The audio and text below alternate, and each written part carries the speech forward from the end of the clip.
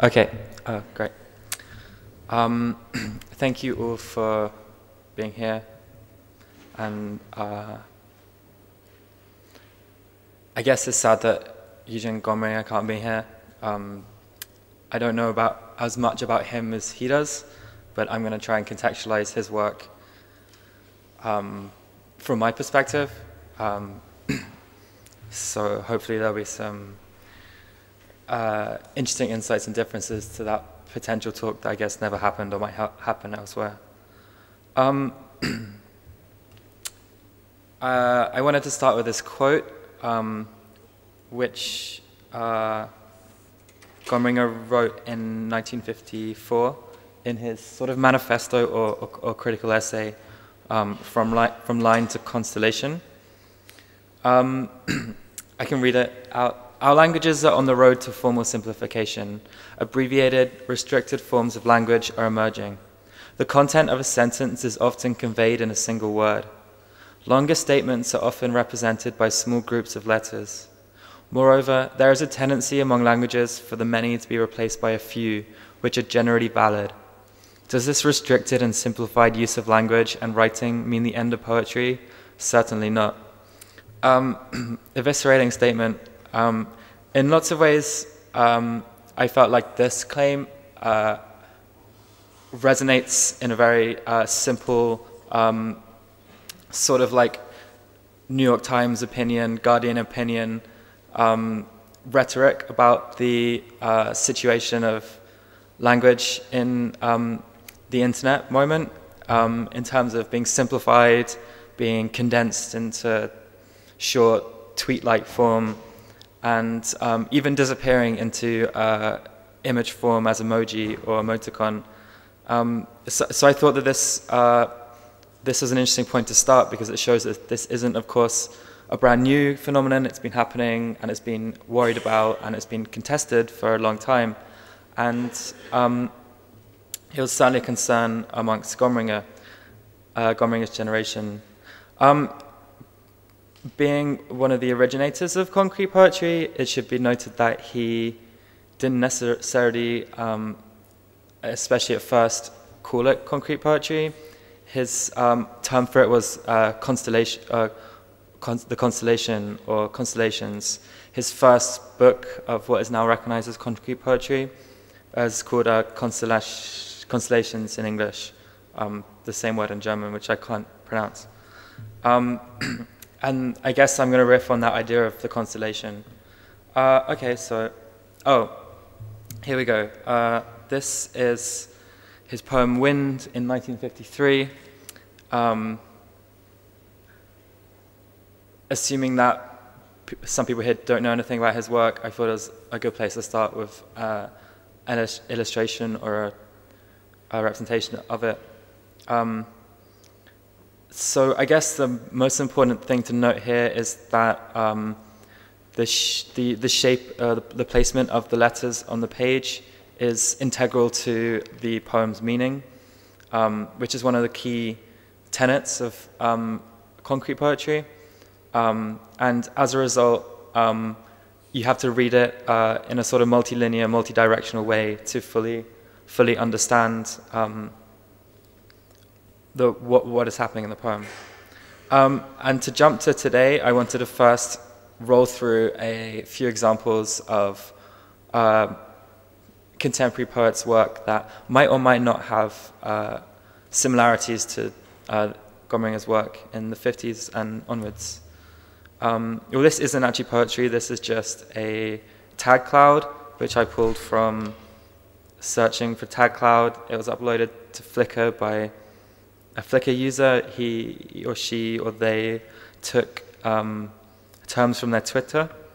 Um, and of course, you can immediately pull a comparison, you can immediately draw a comparison to the activity and the sort of um, indexicality of the concrete poem um, whether or whether not is uh, a, a, tag cloud is a concrete poem, I think is potentially an interesting question, um, but it's probably not. Um, okay, so uh, the poet Sophia Le Fraga, um, this is one work that she produced or published last year, 2014.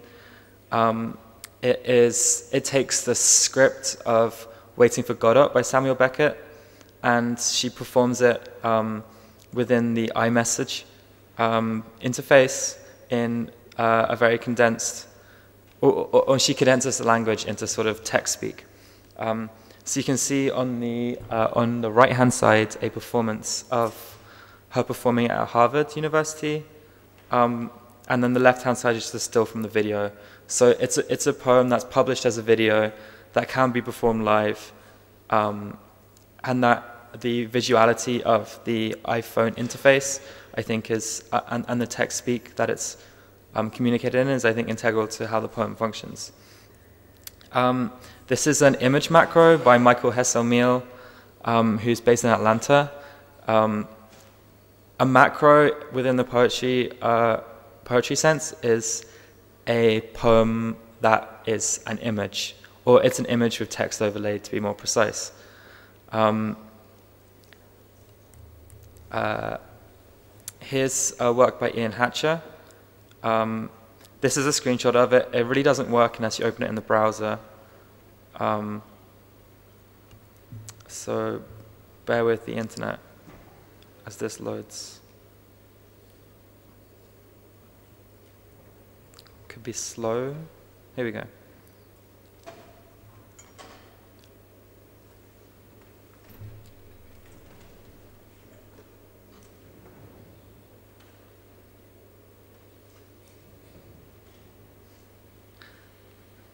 And if I scroll over, this inverted effect occurs.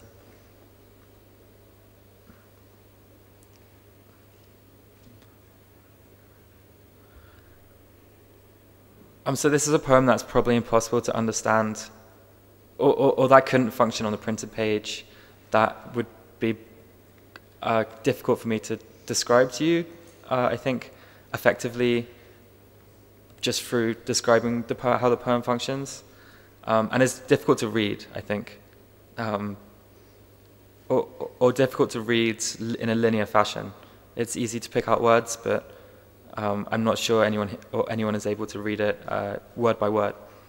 Um,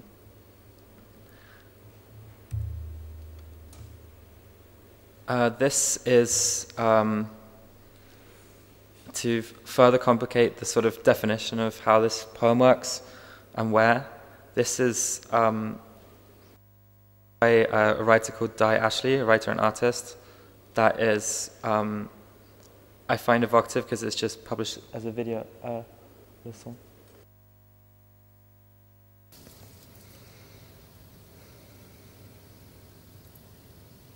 Why do birds suddenly appear Every time you are near, just like me, they long to be close to you.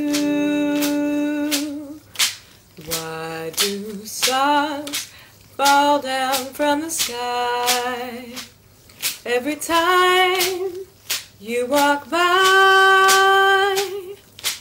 Just like me, they long to be close to you. On the day that you were born, the angels got together and decided to create a dream come true. So they sprinkled moon dust in your hair of gold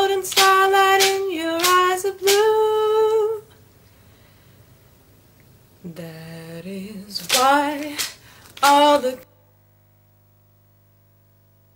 Oh, yeah, in the interest of time, we won't play it all. But it's important to note that this work really functions with this uh, poem, poem here that sort of describes both videos that they made and videos that they haven't made, their potential videos. Um, so the sort of the text and the video are very uh, are, are, are functioning in operation with each other. And there's like a very strong dialogue going on, and it's impossible to read the text without the video and the video without the text, I think, to the, to the uh, author's intention. Um, although, of course, you could read them individually. So I think there's an, interesting dialogue there happening. Um, oh no. Okay, this is an app uh, by Amar- Amaranth Borsuk, Kate Durbin, and Ian Hatcher called Abra, a living text. And this is quite hard to describe also. I mean, the basically the only way you can read this is by downloading it as an app on your iPhone or iPad. Um, but they loaded this text that they wrote into this app and they designed it so that there's these options at the top which do things like reconfigure the text or like make words disappear or make words move around. So that they are really investigating the interactivity of text.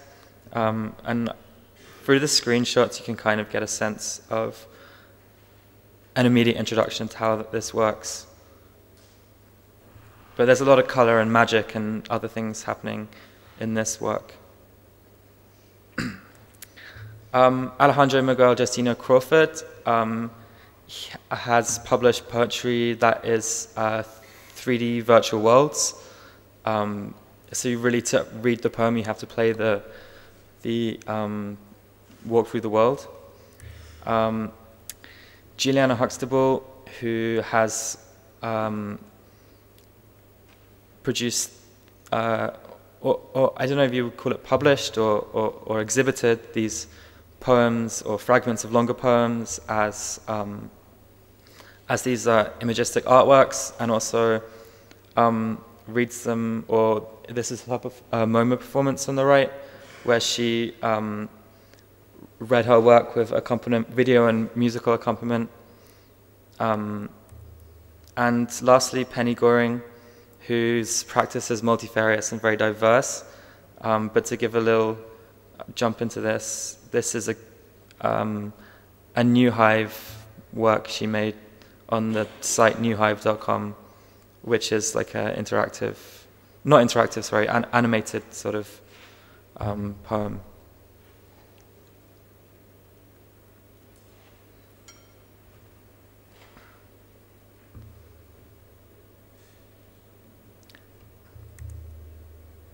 Okay, so that was a quick snapshot of a number of works and experiments from today, and I guess um, how to how how do how do Gomringer's works, how do his poems relate to uh, these works that um, we just looked at now? Um, I suppose uh, there's lots to be drawn on. You could speak at length about why concrete how concrete poetry works, why it's poetry, what it's doing. So um, by necessity, I'm going to be very brief in my discussion of it today. But I'd say the um, one of the most important things about the work is that they can really only be read if you read them in multiple directions. Um, or they're really poems that are most effective when they're read in multiple directions. So you can read this ping pong, ping pong, ping pong, ping pong, ping pong. But you could also read it pong, pong, ping, ping, pong, pong, pong, pong, pong. And only by reading it um, do you get the meaning of the poem and the, the effect of the poem, which is to come out of the, the, son, the, the sounds of the, the ping pong game. Um, so uh, Gomringer and other concrete poets are very interested in the mechanics of play uh, within reading, and their idea for the constellation was if they reduced language to the most simple and fewest um, words or characters or signs possible, they set this small field or constellation with it, within which the reader could play by reading. So then I can play by going pong, pong, pong, pong, pong, pong, pong, pong, pong, pong, which is going to render language onomatopoeic and nonsensical.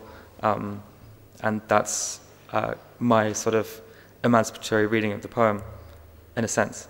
Um, here's another work which um, elucidates the sort of sense of typography and shape on the page. Um, and I think to pull back to the question of technology, this is work that is really produced, or maybe the sort of most of sort of um, characteristic uh, kind of poetry that can come out of the typewriter in a way, um, because it's really exploring words as this imagistic shape on the page. So it's, what, it's, it's the poem made into an image. Um,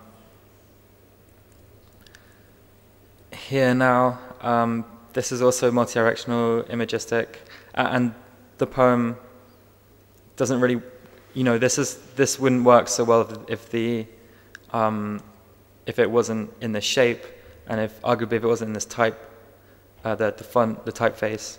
Um, so so it's work that really takes into these the, uh, things such as the the the spacing of the words, their shape, their type as as material aspects of the poem and as um, necessary to the poem's meaning. Um, even immediately, oh, this is like a really funny one if you speak German. Um, it, even, uh, what was my point? Um,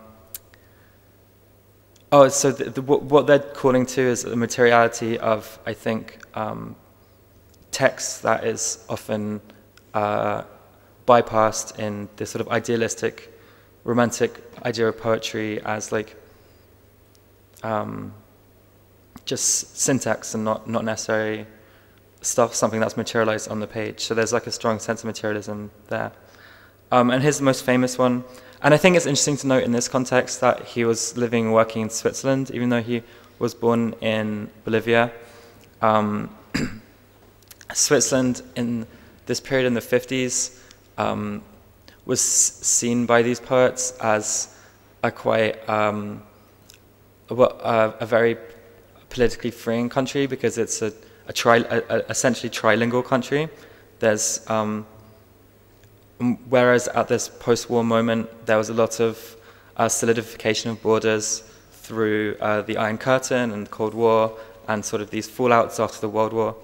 Um, they saw this simplification of language and condensing of language as a way to break borders and to work towards some sort of universal language. Whether or not we want to like believe in a universal language to such an extent today, I'm not sure.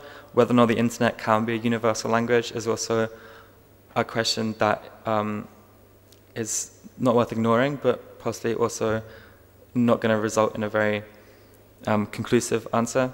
Um, and I think this is also an interesting example because it works in different languages. Um, whether or not it works differently in different languages, I'm not sure, as I don't speak the different languages well enough. But I think that's also somehow part of how this poetry is functioning and how they envisaged it as a political um, machine or machinery, I suppose. Um, there it is on a wall.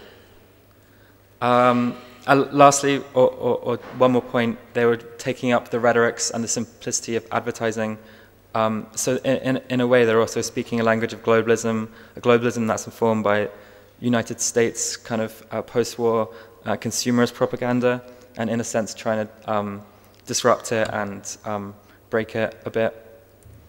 Um, this one's really funny, this polo one, because this to me is sort of this weirdly um, secret concrete poem happening in it, where the polos um, turn into letters that are this delighted consumer's gasp of happiness or something. Lucky strike.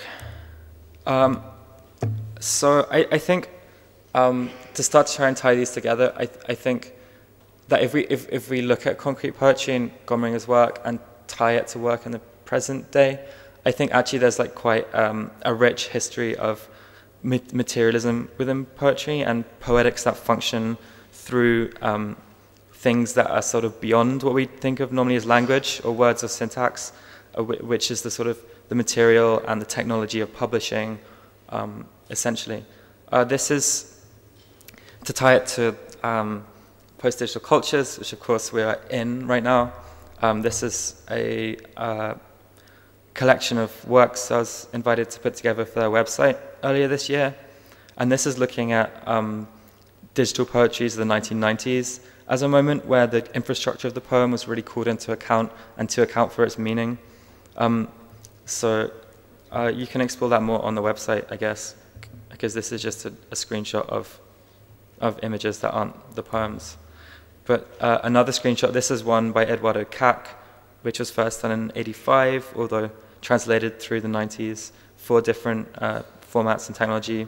And with your mouse, you can drag this 3D concrete, essentially, poem in 360 degrees to elucidate its meaning. Um, Mehdi Obadiki, this is, has um, pop-ups that come with language, um, but you but it wouldn't make sense so much if you just read the words. So they're engaging with the functionality of the browser and the materiality of the, the digital technology that's published with. Um, and I think there's lots of divergent counter histories alongside this. Um, Hannah uh, Weiner, who um, claimed, who uh, created a sort of clairvoyant poetry in New York in the 70s, where she sort of thought of words very imagistically, and she sort of claimed that she saw words around her as she, as she moved around her day-to-day life in the city. But out of this, created like a clair, a clair poetics, which was sort of this idea of poetry being able to access, or language when visualized being able to access, um, like uh, intellectual material, like beyond even the senses, the, you know, the clairvoyant. Um, and there's, of course, jumping further back in history, um, experiments of the early modernists like Mallarmé, who experimented with typefaces, and um, in his famous dé, jamais n'aboliria le hasard, um, a throw of the dice doesn't abolish uh, chance. Um, so, yeah, and there's the computer poems, of the 80s. Um, so I guess my main claim for the poetries that we saw um, that I showed you at the start, which is sort of this trend in people's writing today, is that if we think of Gomringer's work and think of how it needs to be read in this multi-directional way um, to gather its meaning, I'd say that the work that's being produced today, which is native to like uh, an iPhone or a, a, a desktop or a code, the, the, the act of reading has to go beyond just the text that's right in front of you. You have to read across media. Um, you have to be able to read how the text functions within the interface, how maybe the interface functions within a greater system. And, and so I think that action, and I think that form of reading happens, or, or, or there's a certain playfulness in it, a play on the behalf of the reader um, that happens in lots of different directions. And in that sense, I think a lot of this work today could be thought of as this expanded concrete poetry or post-concrete poetry, or, or, or, concrete poetry, if not being the same thing, can at least give us certain tools of how to read it and how to understand its critical function. Um, I was quite interested in the ideas of decoupling that we heard earlier, and I was wondering if maybe this sort of reading across media could be a form of decoupling media, which I think is especially relevant when we're situating it within the interface of the iPhone and iMessage, which is probably a bad technology, um, to like fall on one side of the fence.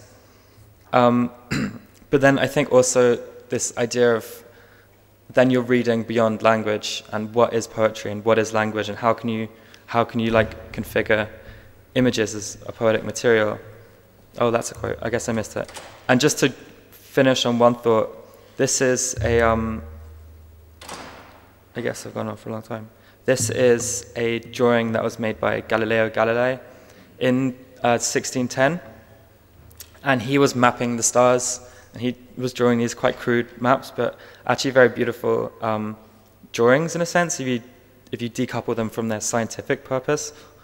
Um, and I sort of looking at this material, and I saw, came across this, and it really struck me that this is like, it looks like a concrete poem, but it looks like a concrete poem that's made out of emoji, rather than, um, or emoticons or Unicode rather than um, the sort of more conventional alphabet. Um, so that it then sort of struck me that maybe like if there is to be a an emoji poetry, then it's it, it's something that functions in this very nonlinear, multi-directional way.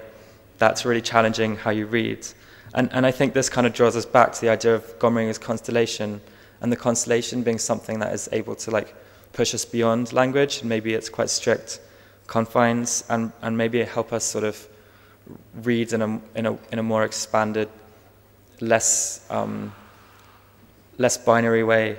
Um, and then that sort of reminded me of um, Martin Wong's painting, paintings. Um, having seen his exhibition at the Bronx Museum, currently he, he, he explores language for his paintings in, in lots of ways beyond text. Of course, there's the text and the frame, but he's very interested in sign language, which is, a, uh, which is like a very physical and imagistic form of language that necessarily depends on this materiality of the image and the physical hand to communicate. And he's also very interested in these astrological signs and these, these star signs. Um, and to me, these, these are like this, this realm, this is like sort of a metaphor or, or a reality of this realm beyond language, um, which is maybe possible to access through this expanded sense of reading um, that, um, that I think off, off offers like possibilities for, for language and poetry and um, communication beyond the sort of the, the, the limitations or the confines of, of the technology of the printed page, which is what is most often associated, I think, with, with recent history of poetry. So um, I haven't, I guess, like I, that I haven't got any more claims to make right now, but maybe we could. This is like also just ideas that can be discussed or or whatever. Um, and yeah, that's sort of to bring Eugene Gomringer's constellations in a big circle to these other constellations is sort of the loop. Uh, okay, that's all. You very much. Thank you very much.